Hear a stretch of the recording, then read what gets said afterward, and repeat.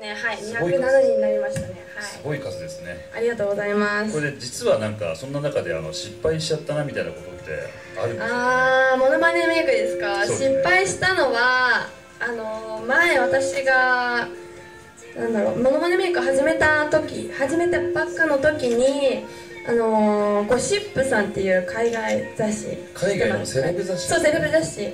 あるじゃないですか。それのお話が来たんですよオファーがあのおモノマネメイクをしてほしいっていうの。はい。ちなでみにあの海外のこのセレブ雑誌のゴシップっていうのはあのね安室奈美恵さんですら出たことそうなんですよ。はい。あの本当日本人はまだ出てないくて初になるらしくてで結構まあプレッシャーはあったんですけど。それは出てください でもすごいあの機会なのでぜひって言って、まあ、OK したんですけど。で今回そのミランダ・カーさんとジェシカ・アルバさんお願いされたんですよ。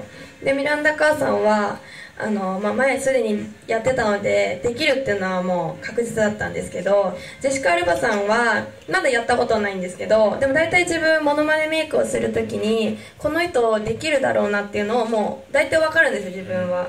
なのでジェシカ・アルバさんに決まった時は自分できるなと思ったんですよ。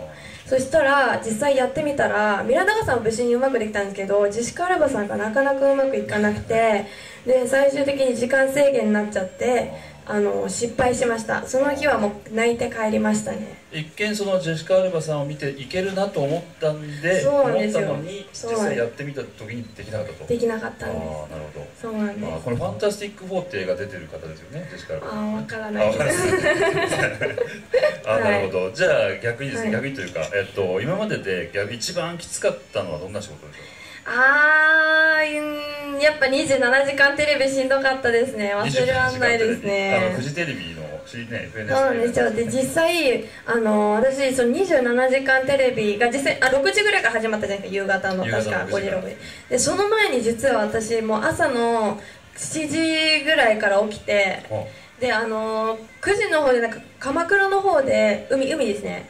超真夏だったんですけど海の方でお仕事があってなので実際27時間じゃなくて37時間起きてた。置きっぱなしですか？そうなんですよ。置きっぱしなしで移動中も寝れなかったんですよ。もう自分のメイクを落として次の自分の顔にならなきゃいけなかったので結局寝る時間もなく27時間が始まってでその日はあのモノマネメイクリレーをしたんですけどもずーっと5人ぐらいかな？5人6人ぐらいやってもうずーっともう休憩なし。あ5人ですね。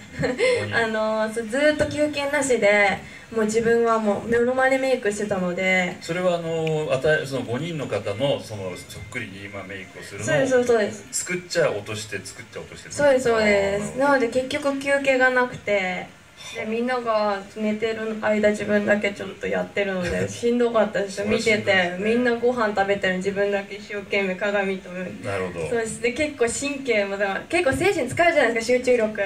もうだんだんもう疲れてきちゃって。それが一番で最終的に自分実はあのー、大体ゆ夕方かな。夕方